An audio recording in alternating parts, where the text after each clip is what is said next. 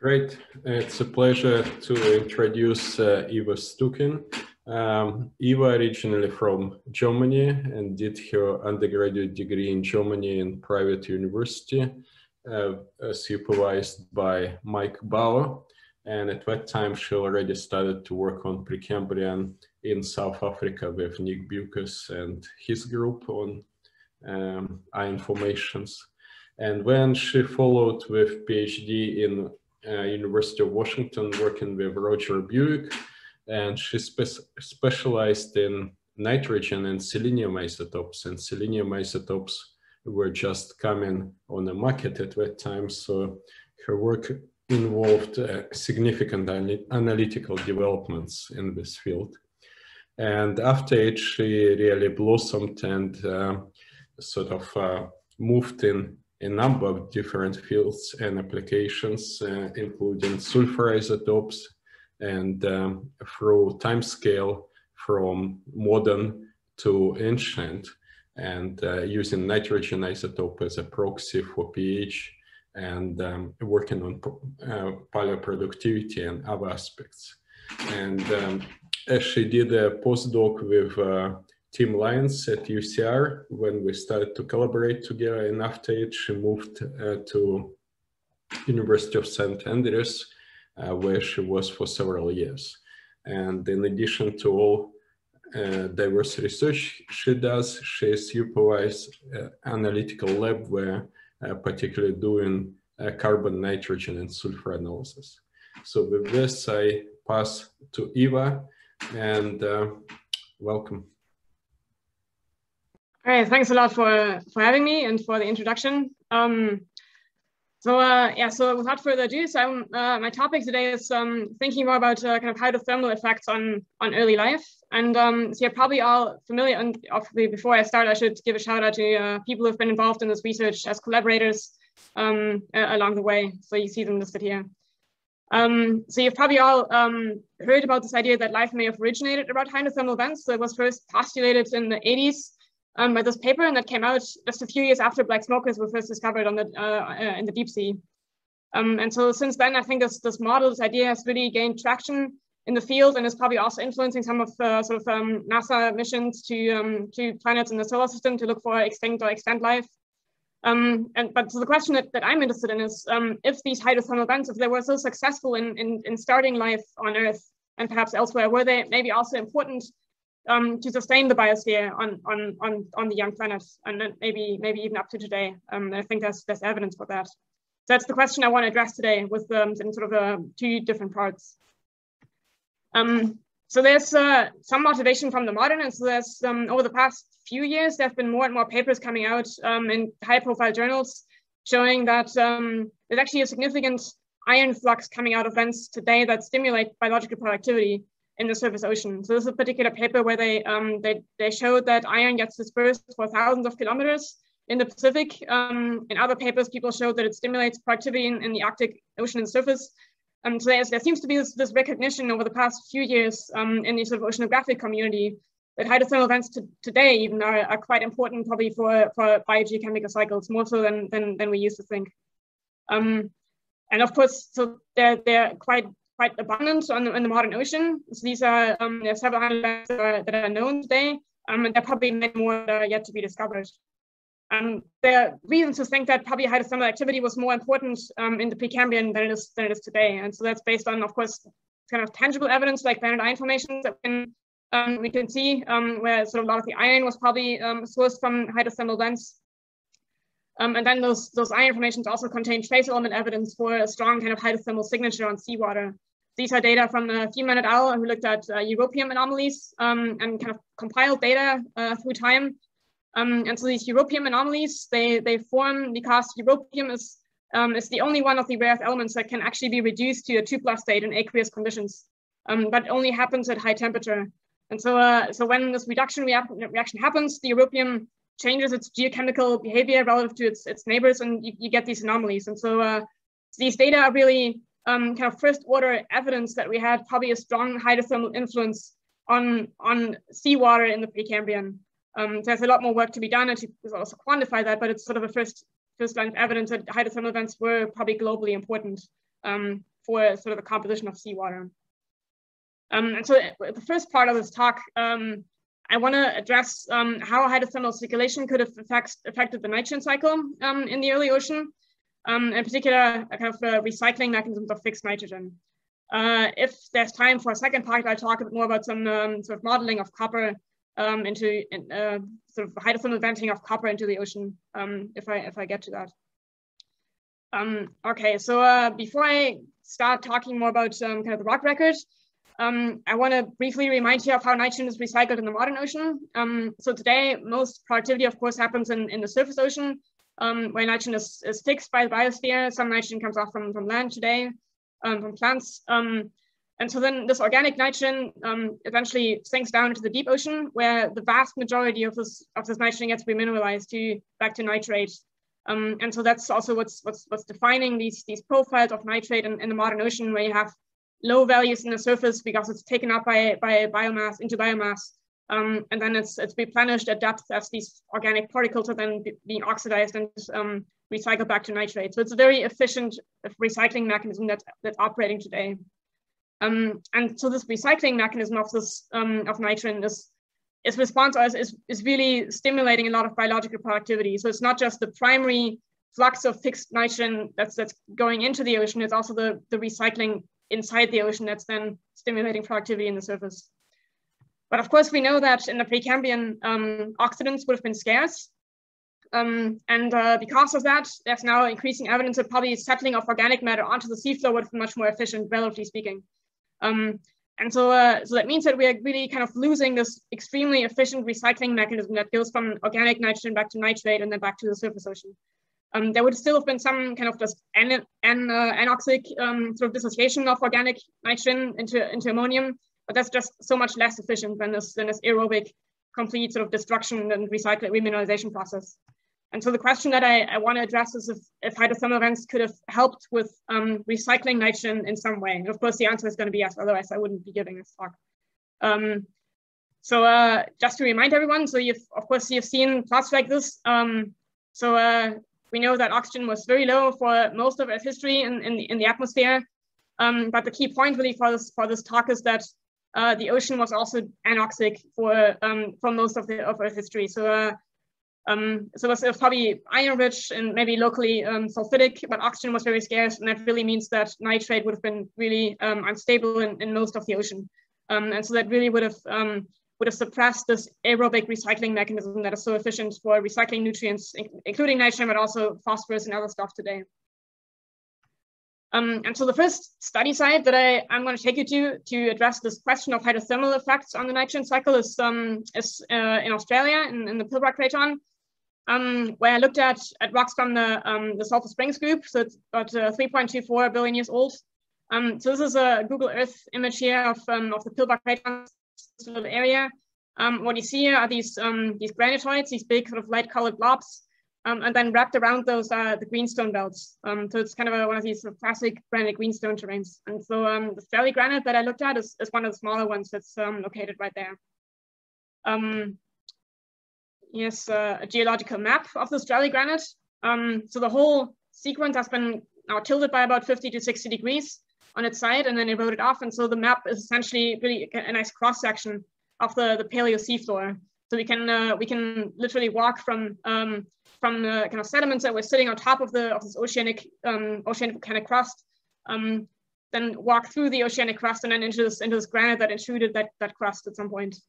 Um, so these are the age constraints. Um, there's a lot of, uh, so they're not as, um, they're not they're not very tight, but uh, so it's um, there's so the idea is that these these granites kind of intruded probably maybe shortly, very shortly after um, the eruption of these of these uh, volcanics, and then we had sediments um, probably coming down, yeah, turbidites probably coming down um, shortly after that at the same time. So it's a, a relatively sort of short-lived um, uh, system. Um, but so the other thing, the key thing I want to point out are these prospects. Um, so these are sort of evenly distributed along this, um, this paleo seafloor. And what these prospects are, so they're VMS deposits. So they're volcanic massive sulfide deposits that are being um, explored by various exploration companies or have been explored in the past for uh, mostly copper and, and also zinc, I think. Um, they've never, none of them has actually ever turned into a mine. um, but there's still um, there's still companies working up there and um, and um, and exploring. Um, and so what uh, what these are, are probably fossilized hydrothermal vents that were sitting on the seafloor at the time, and so they're kind of evenly spaced, um, as you can see more or less. And so the idea is that um, that seawater was going down in between these vents and then coming back through these black smokers um, at these prospect sites. They're now mostly manifested in the form of these Gossan piles, which are essentially just piles of iron oxides um, and, and, and, and, lots of quartz. Um, and then um, locally, they're quite rich in barite. Um, so this hydrothermal barite here, the hydrothermal barium that then with um, different sources of sulfur precipitated there around these, um, oops, around these vents as well. And so people, so this, uh, this is now work from uh, Ben Johnson and, and, and Boss Wing, they um, so they recently did a, um, a really nice study where they used oxygen isotopes to reconstruct um, the temperature of this hydrothermal convection cell. Um, and that's what's shown here in this figure. So this is essentially a cross section of this paleo seafloor and using oxygen isotopes and um, inverse um, modeling, they were able to really kind of really nicely show these zones where cold seawater would have gone down into the seafloor, got heated up and then came back up as, as hot water um, underneath these um, these prospects and these, these discharge zones, which were the, so inferred discharge zones um, as, as these probably the black smokers. Um, it's also really nicely seen in the field. You can see this um, from the alteration mineralogy. So both of these used to be um, basaltic andesites. This one here on the right is has still retained some of its feldspars. it's slightly chloritized now. the one on the left is completely turned to chlorite and quartz. So they both started out of the exact same rock, but now they have undergone different degrees of alteration because they were sitting in different parts of this hydrothermal convection cell. And so it's a really nice site to, to test what's happening with nitrogen um, during hydrothermal circulation.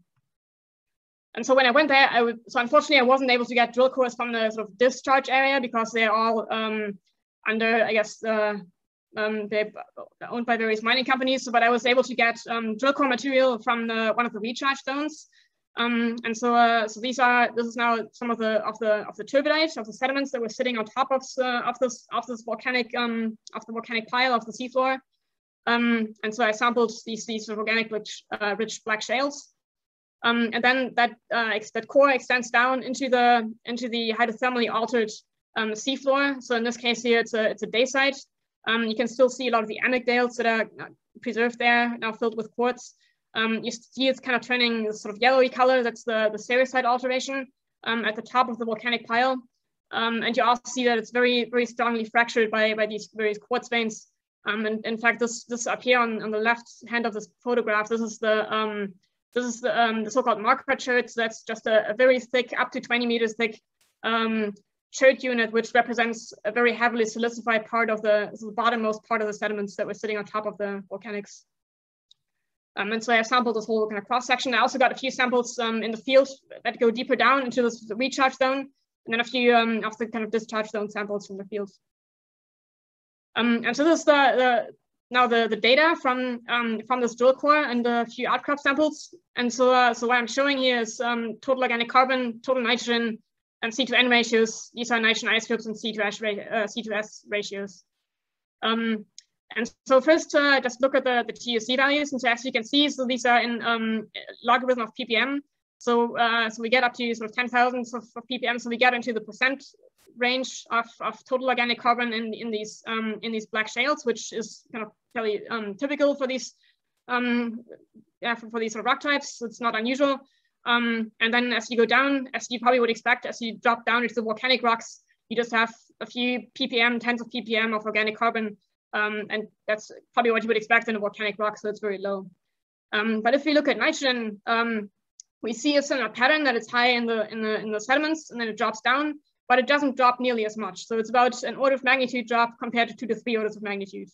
And so as a consequence of that, um, the C to N ratio um, decreases. So there's, uh, we have more nitrogen still present relative to carbon in these rocks.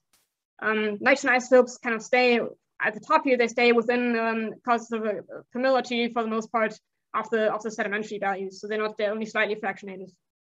Um, and so the interpretation of, of what we are seeing here is that um, initially, so uh, we have these these black shales plotted up here and these these gray dots.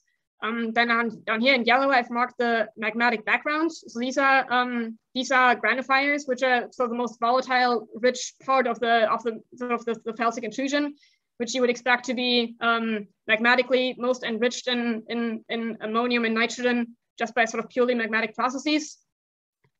And so, um, so what we think we are seeing here is that uh, um, initially these, these organic rich sedimentary rocks were um, permeated probably by hydrothermal fluids because we see as we step down into these very heavily silicified um, rocks into the chert um, that the uh, both carbon and nitrogen uh, decrease. So probably these hydrothermal fluids were leaching organic matter and, and nitrogen um, from, from, organic, from these sediments.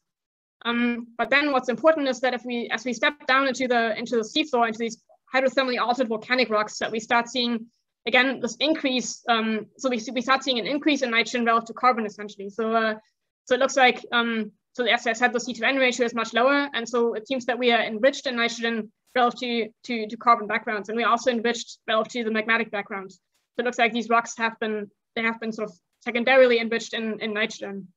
Um, and in fact, the most likely host mineral for this nitrogen is the sericite, which you can kind of see here. So these are some, uh, some quartz grains in this little sericite here that probably may maybe, maybe used to be a feldspar at some point, um, and it's now completely sericitized. And so sericite is, um, is a potassium-rich mica, and uh, potassium is very similar um, size, so um, ionic radius as ammonium. And so ammonium likes to substitute for potassium in, in minerals. And so uh, it's the most likely host for, for ammonium in these rocks.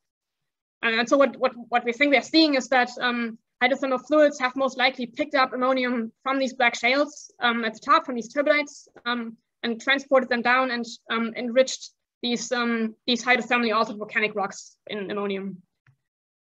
Um, there's more sort of independent evidence for where the nitrogen most likely came from. And so this is just, this is looking now at carbon sulfur ratios in these rocks. And I've also kind of penciled in here the line that represents um, a batch of about 10 samples of the same um, formation, the Soanesville group, um, was um, the same sort of uh, shale formation, but um, very sort of distal to, to this hydrothermal um, horizon. and so those, those really distal shales have very consistent C2S ratios around, around uh, 30, plus or minus a, a few.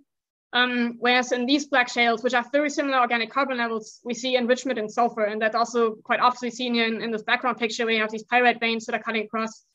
Um, so we have evidence that these hydrothermal fluids were indeed also circulating through the sediments. So in other words, this hydrothermal system was sort of active as you know, the bottom, at least the bottommost sediments were already um, deposited. Um, and so it's really plausible that these hydrothermal fluids were picking up ammonium from those organic rich black shales.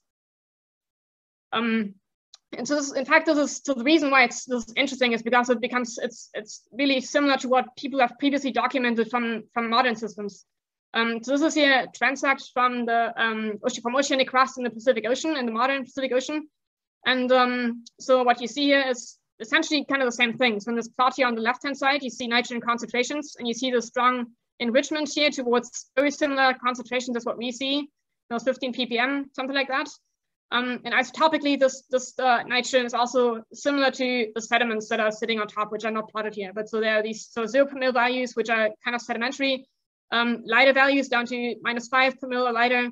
Um, those are more sort of the typical magmatic nitrogen values that you would expect. And so it looks like um, similar to what we see in the in the Archean, we have this enrichment of, of sedimentary nitrogen um, into the altered, had some of the altered volcanic rocks. And um, so the, the reason why this is interesting is because um, also from modern systems, we know that black smoker fluids that are associated with sediments um, tend to be very rich in ammonium. And so um, again, I wasn't, from this particular locality, I wasn't able to, um, to really sample sort of any of the sort of discharge samples that would have maybe shown that. You'll see that in, this, in the next, next uh, part of the talk. But um, so what we know from modern systems, these are now data from a, uh, an old paper where they measured black smoker fluids. Um, and uh, so these three black smokers that are associated with sediments where they have this, the same kind of um, circulation of fluids through sediment packages, um, they're very, very enriched in ammonium. So just for comparison, um, nitrate in the modern ocean is around 30 micromole. Um, and so here we have about a millimole up to maybe uh, a few tens of millimoles. So we're talking about two to three orders of magnitude enrichment um, in nitrogen in these black smoker fluids that have circulated through sediments in the modern ocean. Um, and so it's, of course, it's same sort of mechanism that we have some biomass sitting in the sediments. So this up here would be um, the biomass, and then these hydrothermal fluids come along and start altering this biomass and um, they rip out um, some of the ammonium um, and uh, and, and uh, transport that separately or you know, kind of um, ex expel some of that into back into the into the ocean.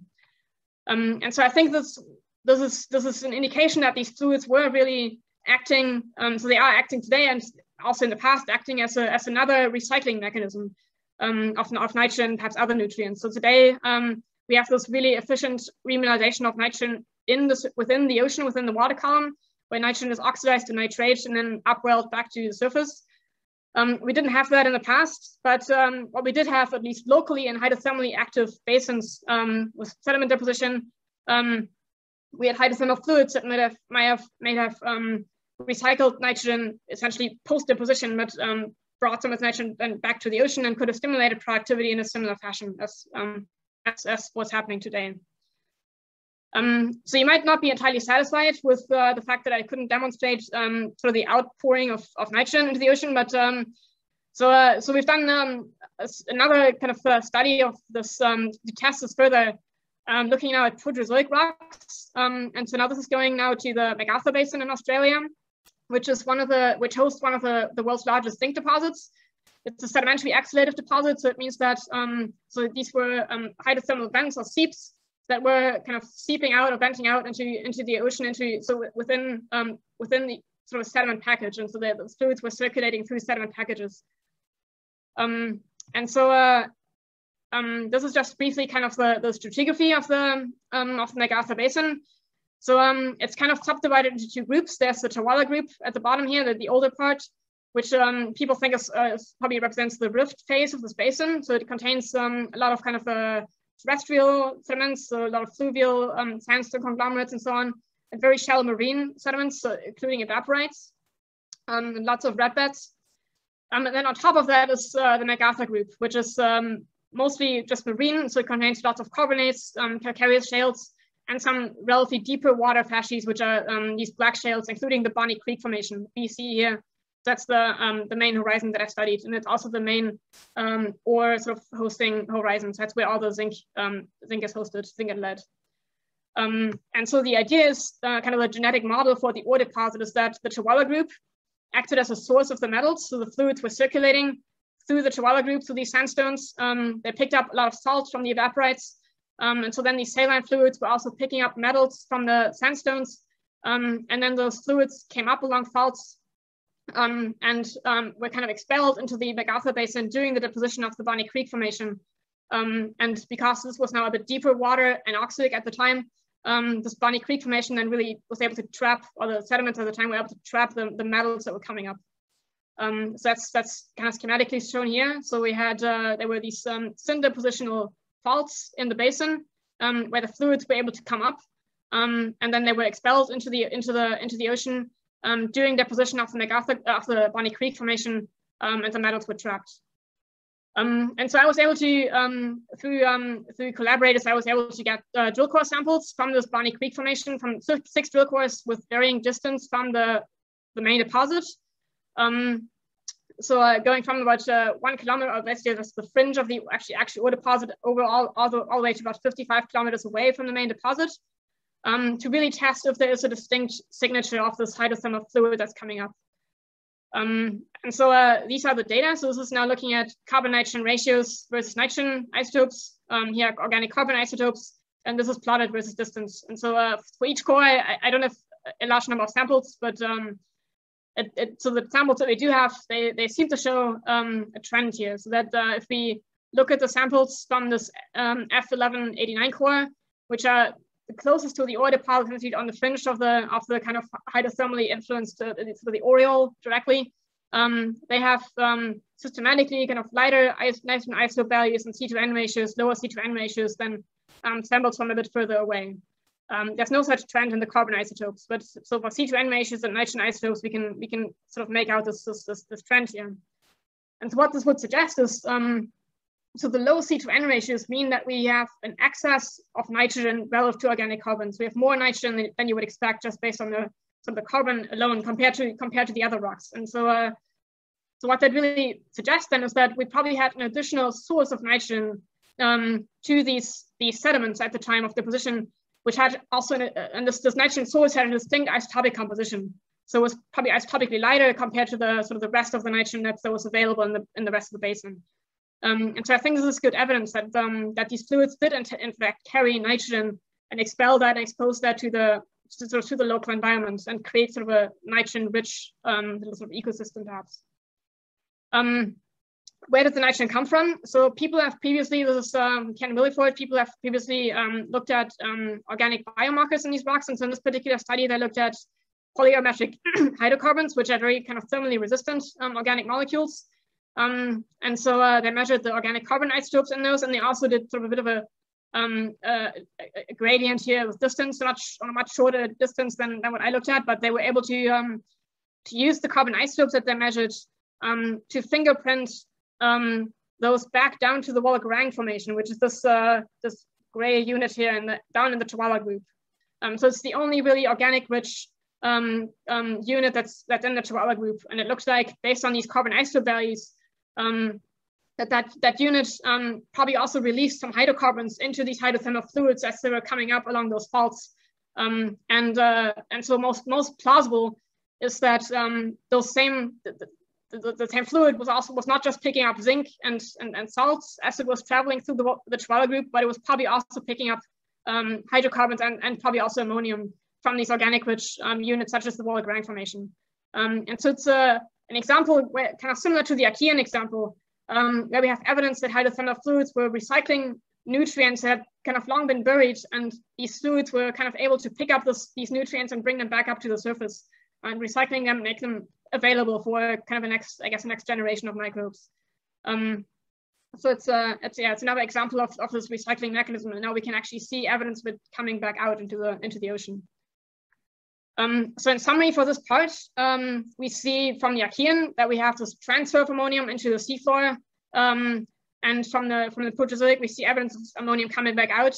And these two combined, compared, compared uh, combined also with um, analogs from the, or with, with modern analogs or evidence from the modern ocean, are really suggesting that hydrothermal fluids could have been important kind of sites of, of recycling nutrients and created kind of maybe local hotspots of productivity perhaps um, around them in, in, in, in individual basins.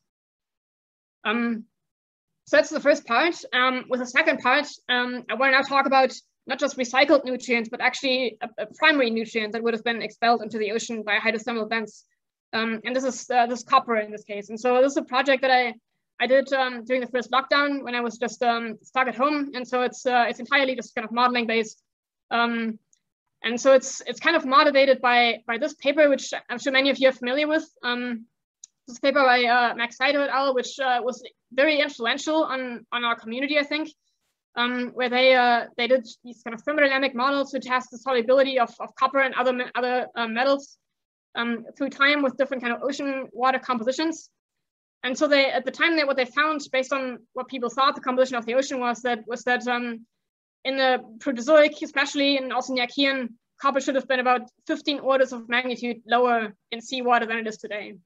Um, and so that has really stimulated a lot of ideas about um, limitations of the biosphere by, um, copper and, and, zinc and other stuff.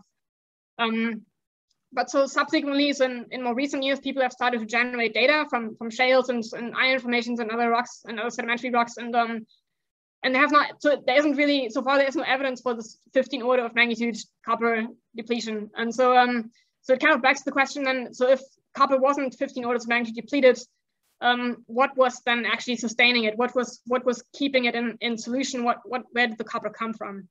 Um, and so um, so the two questions that I'm addressing here with this model is if hydrothermal vents could have acted as important point sources of copper, um, and I'm also exploring the role of organic ligands in stabilizing copper in seawater.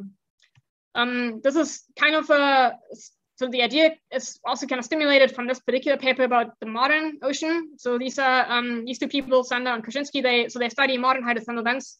Um, and so um, what they did is they um, so they, they they they did their own measurements and then um, also modeled those um, with a sort of geochemist workbench model.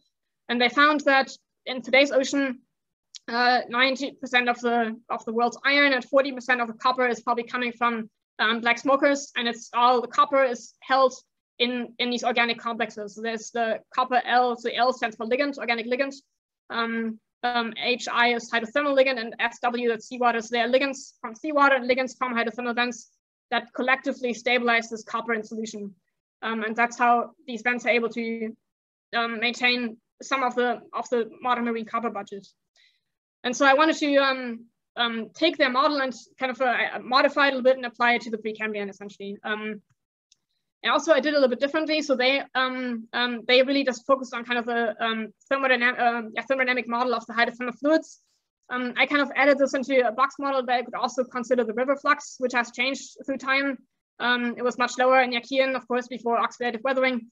Um, and I, I accounted for kind of different settling rates with different residence times and so on. Um, but the important part for the hydrothermal fluids is that um, I used a similar kind of um, thermodynamic approach with geochemist workbench, where I had um, a black smoker fluid that was very copper rich, and I mixed that black smoker fluid with um, with seawater, and then I let it, I let them, I let the two fluids mix um, in different proportions, and I essentially watched um, precipitation of copper. And as soon as precipitation had stopped, I then took the composition of that fluid and used that as input into my, my box model here, sort of the hydrothermal end member after precipitation has ceased. Uh, and this fluid is now mixing with the global ocean uh, and you know kind of dispersed into the global ocean. Um, so these are just um, briefly um, what these fluids look like. So I used a modern seawater composition and then uh, in, in, terms of sort of you know calcium, magnesium, chlorine, chlorine and so on, major ions. Um, and then the main variables that I changed were iron concentrations, sulfur concentration, and oxygen. So I just had these kind of three three different scenarios. Um, as um, and I so in, in, in the paper that, that, that where this is described in more detail, you can also look at some sensitivity tests for this. Um, and so I added organic ligands in 10 nanomoles. So this is the same concentration as in the previous um, modern paper that they that they um, did. Um, and then for the hydrothermal fluid, I used again kind of the same composition um, with different amounts of organic ligands added in. And so these fluids are mixing. That's the, the, mixing ratio of hydrothermal to seawater. And you see that the temperature is, um, is dropping as they mix, as you would expect. and uh, so then, as I said, I, I watched kind of when precipitation stops, and that's the fluid that I used for the box model. Um, this is what the what this looks like. I'm just going to show this briefly for the modern. Um, so uh, this is uh, copper speciation now during this mixing process. Um, and so you see at high temperature, um, copper is initially bound in this in a sort of aqueous sulfide complex. Then it turns into a chloride complex and eventually just pure copper. But the total concentration, you see that dropping, and that's because of precipitation uh, and of course also dilution by seawater. But um, so precipitation is happening along the way and pulling copper out of, um, out of solution. Um, but what you see is, um, as soon as I start adding ligands to this model, so this is now just a bit of um, 10 nanomoles of, of ligands in seawater, um, you see that copper is now being held as this organic ligand complex. And then I, when I start adding uh, ligands also to the hydrothermal fluid, um, now this, this red line pops up, which is now the hydrothermally, so the, the copper bound, the ligand bound copper that's uh, bound now in the side by the hydrothermal ligand, and the total concentration in the final fluid keeps increasing um, with with the addition of these ligands. Um, so the ligands really help in stabilizing copper in solution. Um, and then I put that into this box model, and so the results that I got for these four different scenarios that are shown here. Um, blue is always the riverine um, input, and then in black is the hydrothermal input. Um, and so I got that between 2 to 20% of the marine copper budget would be supplied by hydrothermal vents, which agrees quite well with the, the 14% that the, the previous paper got. Um, even though they had a slightly different approach, but it's um, so it's was satisfying that the model kind of seemed to work. Um, and so then when I applied this to the Archean, as you would expect, uh, because the um, the river flux is essentially shut off, it's, it's very, very small. Um, hydrothermal vents now make up the, the vast uh, majority of the, of the copper supply to the ocean. Um, so the river flux is, is, um, is, is really, um, really negligible almost. Um, but what you also notice um, for these uh, scenarios, which are, so these are now the maximum amount of ligands that we would find in modern, the total concentration of copper in the ocean is, is low. It's, it's not 15 orders of magnitude lower, but it's about six orders of magnitude lower than, than in the modern. so, uh, and so the, the only way that I found to, to increase and to push copper towards more like sort of similar to modern levels was by either increasing the amount of ligands. And so that's something that is um, that is really poorly known. So we don't know how much organic matter was kind of suspended or dissolved in, in Archean seawater or Precambrian seawater. Um, so if the ocean was sort of more organic rich, um, um, perhaps more copper could have been held in solution. and another interesting result that I didn't expect, but that um, came as a bit of a surprise was that also if I increase the temperature of the ocean by um, a few tens of degrees, um, it also increases the concentration of copper in, in, in, in, seawater because it turned out that the, the solubility of, of copper sulfide minerals is quite temperature sensitive.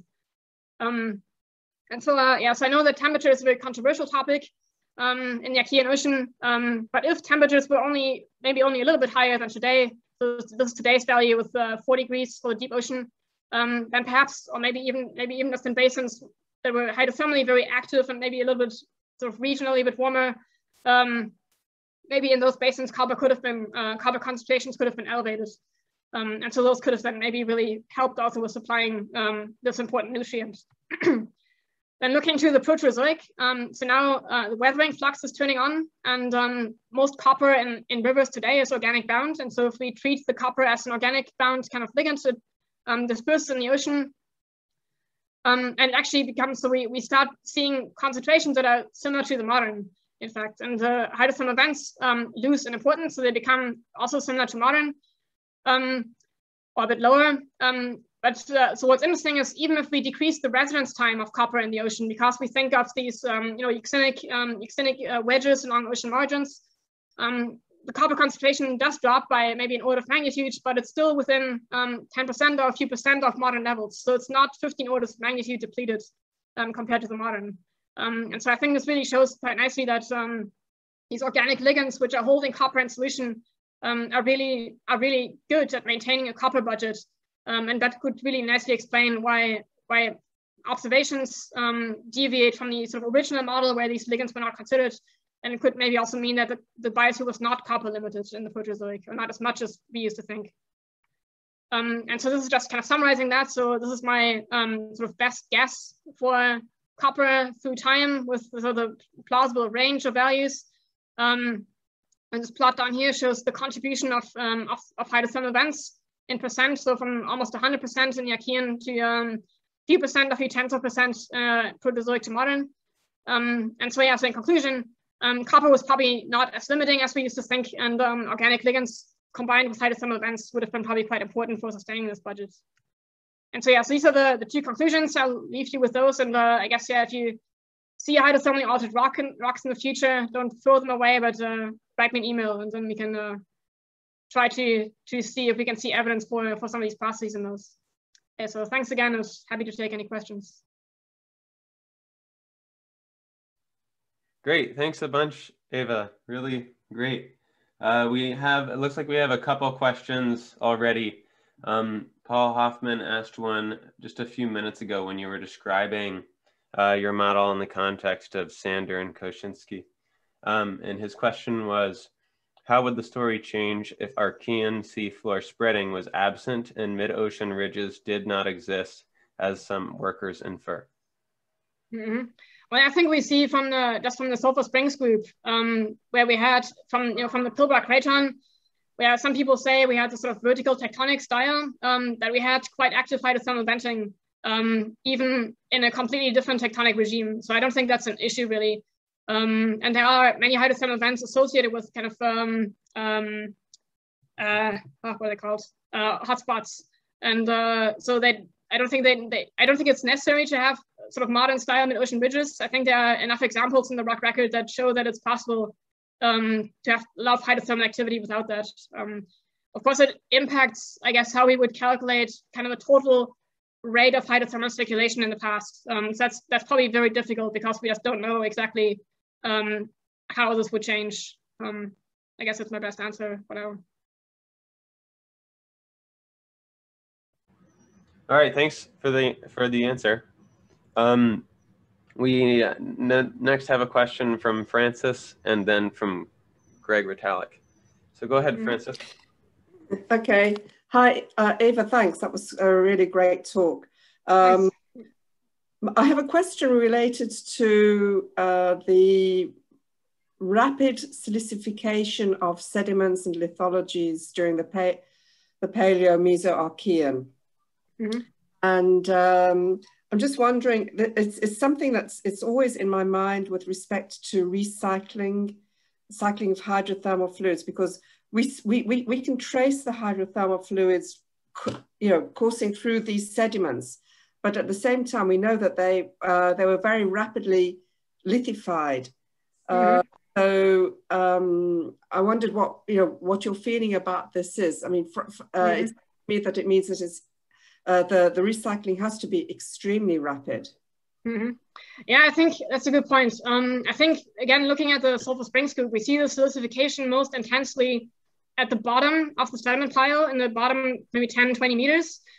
Um, but we still see like fairly extensive hydrothermal um, veining in terms of sort of pyrite veins um, above that. And so I'm, I'm wondering if perhaps a lot of the silica actually drops out relatively early um, at relatively high temperature, but then we still have fluids circulating at slightly lower temperature um, above that, where it's maybe not silicifying as much anymore, but it's still able to to leach um, yeah, to leach things like ammonium and other stuff out of the sediments.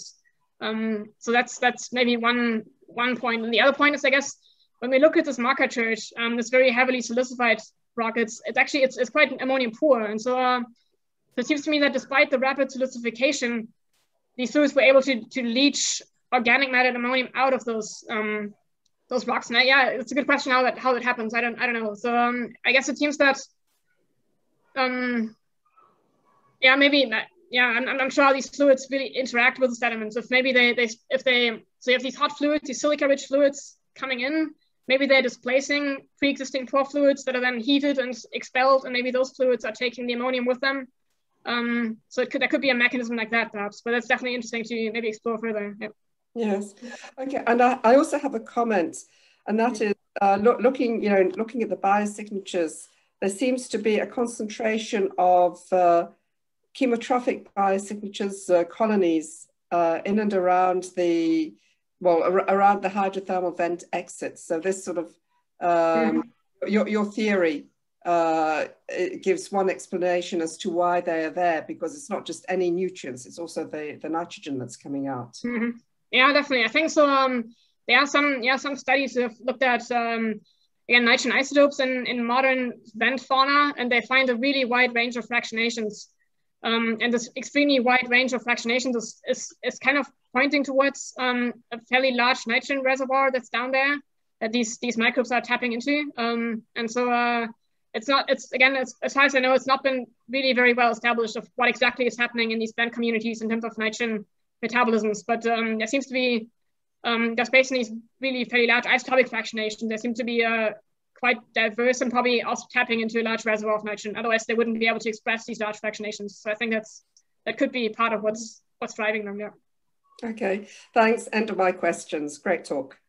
Oh, thanks. So that was lovely, Eva. I really enjoyed that, and um, you've convinced me. Um, okay, copper, about twenty percent of the copper is ligand bound, and but I'm, I'm, I'm thinking it, it might have always been that way, that there wasn't, uh, uh, that the difference between the Archean and the Paleozoic might not have been so profound. And the reason I'm thinking that is because mm -hmm. Sue Brantley's group had a lovely paper, the senior author was Neaman, who I don't know, um, on ligand-based weathering of uh, Precambrian paleosols. Mm -hmm. And um, they were looking at the, at the mobilization of uh, phosphorus, not copper. Mm-hmm. But they actually found that in the Archean, it was more intense than it was uh, subsequently.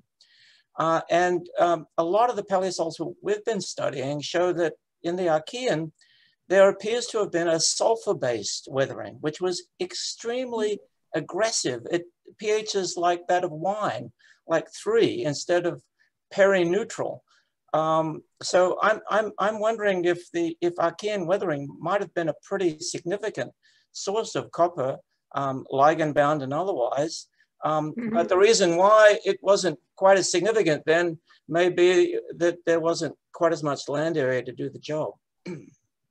yeah, I think that yeah, probably the land area might uh, might might might be sort of the most important argument. Um, and uh, yeah, I think, so the, the I got this copper flux from from the recent paper by Hao and um, uh, what's the name um, Bob Hazen. So they did this, they, they modeled Archean weathering under kind of realistic, um, plausible sort of uh, rainwater compositions uh, with high CO2 levels, um, no oxygen. And so they, they derived this, this copper weathering flux. And so I, I don't think they necessarily included intense sulfur weathering, sulfur-based weathering, but I'm also, I'm, I'm not entirely sure. But uh, yeah, definitely, I guess you're, you're, right. There could have been locally um, probably um, intense sort of leaching by sulfides. But then on the other hand, Archean marine sediments are not very sulfur rich. And so I, I, if we sort of then kind of scale that up, then it would probably also mean that the um, kind of the sulfur driven weathering flux of copper would have been a relatively minor contribution, I would think. Um, but I agree with your point about the organic weathering um, and organic ligands in, in kind of Archean soils. So I, I, think I know the paper you're talking about, and um, that's definitely uh, an interesting point. I think it could be good evidence that there was already already sort of maybe ligand bound stuff coming off land at the time. Um, so yeah, that's a that's a good point. Yeah. Well, you're, you're, you're mentioning you're mentioning um, hydrolytic weathering, which is basically what Dick Holland did for all those years, and what I was working with as well. Um, that was that's the old model, which is based on carbonic acid and probably cyanobacteria. Um, I'm changing my mind. Um, I do do that occasionally.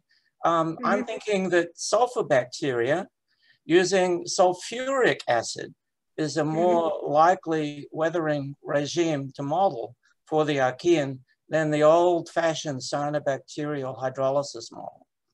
Uh, mm-hmm. and that changes everything. Um, that changes quite a bit about the fluxes that you can expect from um, Precambrian soils. And we've always been puzzled that these Archean soils are so shot, so deep, so short of nutrients. It's quite impressive. Mm-hmm. Interesting. Yeah, it would be interesting to, to look at that some more. Mm. Thanks. All right, we've got another question for you in the chat from Nadezhda Alfimova. Thanks for the presentation. If hydrothermal system, sorry, if the hydrothermal system was recycling nutrients, is there in the complexes that you studied beds which might have trapped nutrients benef benefited from these nutrients? Um, yeah, I think in the so in the in the Barney Creek formation, we probably see evidence of that in the in the most proximal core. Um, and so in fact, what I didn't show is um, from kind of the carbon nitrogen ratios and um, looking at sort of the intercept of the on the nitrogen axis dot nitrogen versus carbon.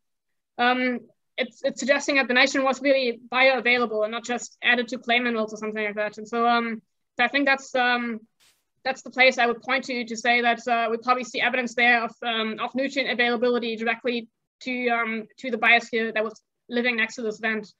Um, but then also, I guess, um, yeah, that's the, the zinc itself, of course, is a, is a nutrient that would have come out of the ocean um, and is off the forming ore deposit there. So it's, um, so yeah, so that the Barney Creek Formation is, is just a nice example of, uh, of local enrichment in kind of hydrothermally sourced nutrients, either recycled or primary, I think.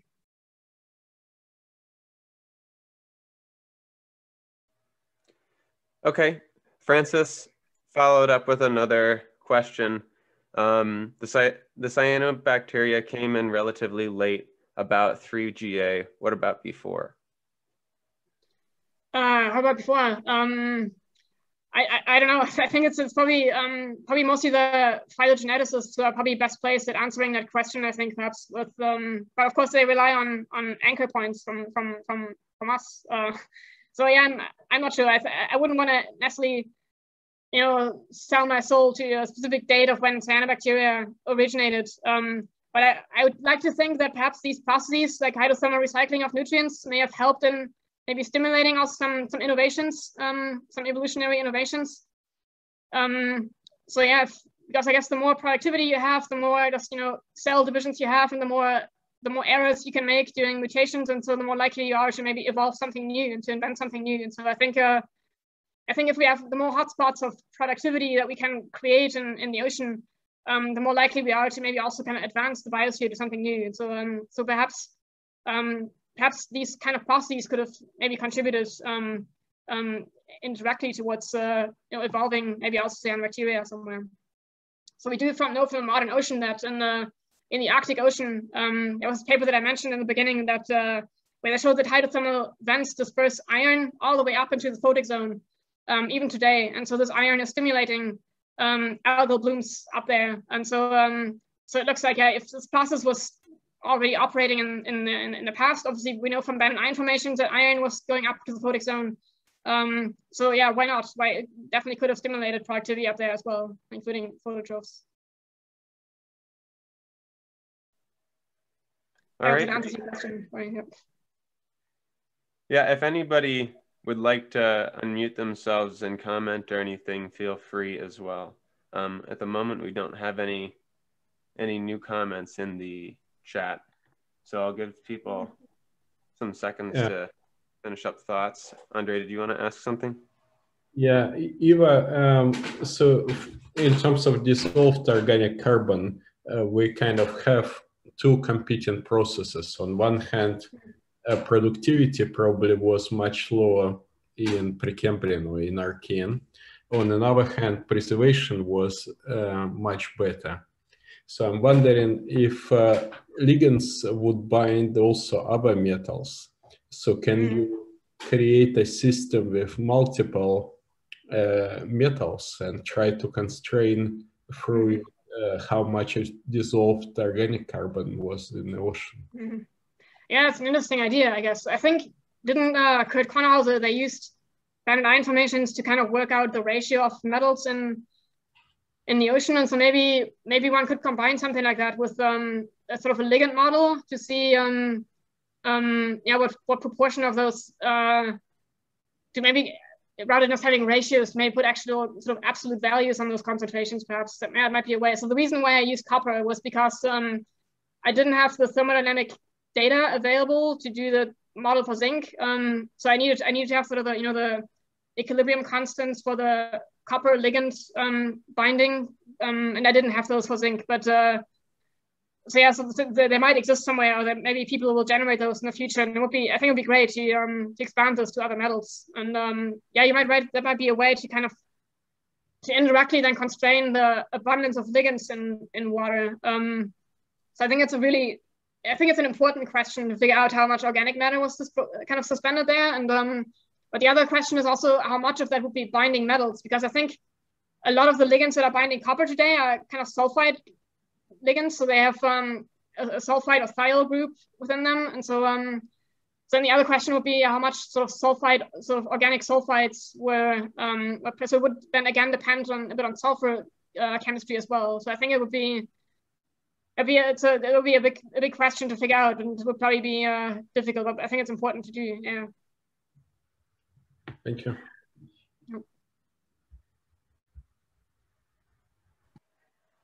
All right, we can leave maybe 30 seconds or so for anybody who's typing or anybody who wants to pipe up. I can also feel free to email me if you have any any other questions on interesting samples. Um, and I'll post uh, your email on the website with your uh, talk if that's okay. Sure.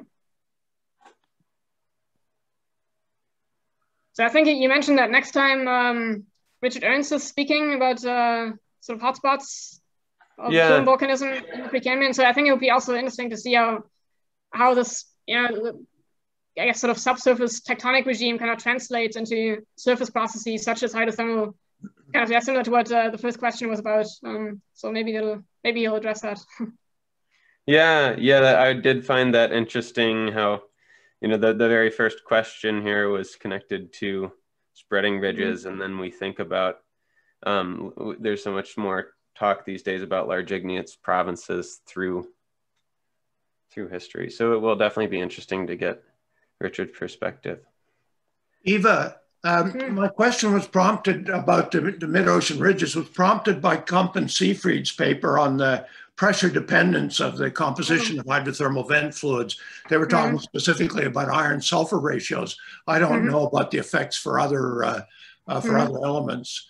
Um, mm-hmm. but so I was wondering whether the nature of hydrothermal uh, alteration as observed in the Archean might might ultimately be able to say whether mid-ocean ridges, as opposed to other kinds of hydrothermal systems, existed or not although the mm-hmm. question is complicated, of course, because we don't know uh, the depth of the mid-ocean ridges at that time, but that's also, of course, something we would mm-hmm. like to constrain.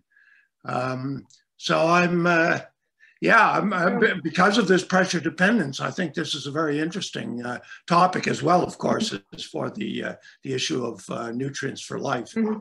Yeah, you're right. I think um, I think that so these hydrothermal systems, they, they tend to be very reducing. They produce hydrogen also in some of the alteration reactions. And so I think that that might also perhaps overpower some of the of the pressure dependence. I mean, it is of course also pressure dependent, but um, so the SO2 H2S ratio that is kind of pressure dependent in these in magmatic processes um, might then be kind of overruled by just hydrogen production during um, doing water rock reactions. So at least it's an additional process that would complicate that a little bit. Yeah. Um, but that might be different in the Archean as well, because in the Archean, we would expect to have much thicker uh, basaltic crust.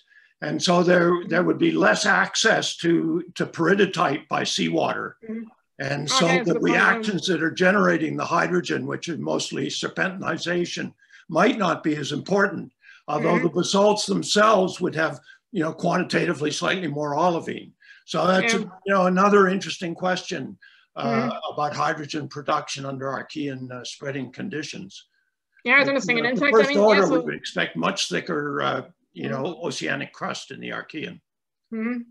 Yeah, I think so. In, in the Sulphur Springs group, it's um, maybe I guess it's interesting, um, worth pointing out that um, they have found copper deposits and zinc deposits. They're mostly copper, but um, they've never really found something that's really economic. And uh, so they are, I guess, the actual deposits are, are not they're they're there, but they're not huge. They're not large. And so um, I guess the maybe the oldest really sort of large economic mineral deposit. I'm not sure. It's, I know of uh, Kidd Creek in, in in Canada, so it's 2.7 billion years old. So I'm not sure if there are uh, what's I guess what would be sort of the oldest economic large. That may change. Economy, economic is a moving target. I guess that's right. Yeah, but um, but yes, that's that's a good point. That uh, so we don't see these massive, Yeah, hugely massive sulfide deposits. That might have to do with uh, with uh, yeah with um with all these variables that you mentioned. Yeah, yeah, copper would be a good word in a grant, I think. yeah right.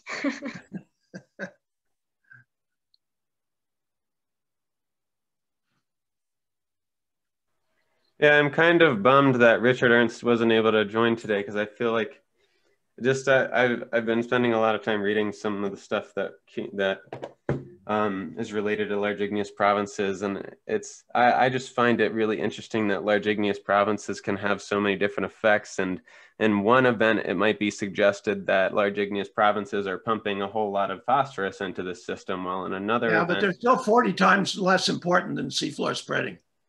yeah, yeah, but I Because mean, it- large igneous province for 1 million years doubles the rate of magma production. But they only Right. occur once every 40 million years. So relative to seafloor spreading, uh, I mean, their manifestations are important, don't get me wrong, but well, that's why they're connected to events, right? is big en- engine that's running all the time. Right, right. And I mean, it, it, if we're looking at events, they're always connected to something bigger because they're they're a large flux, more sort of almost instantaneously in geologic time or over five Yeah. mi- million years. Yeah, no, as far as rates are concerned, which is very important, and they're, they're, they're huge. Yeah.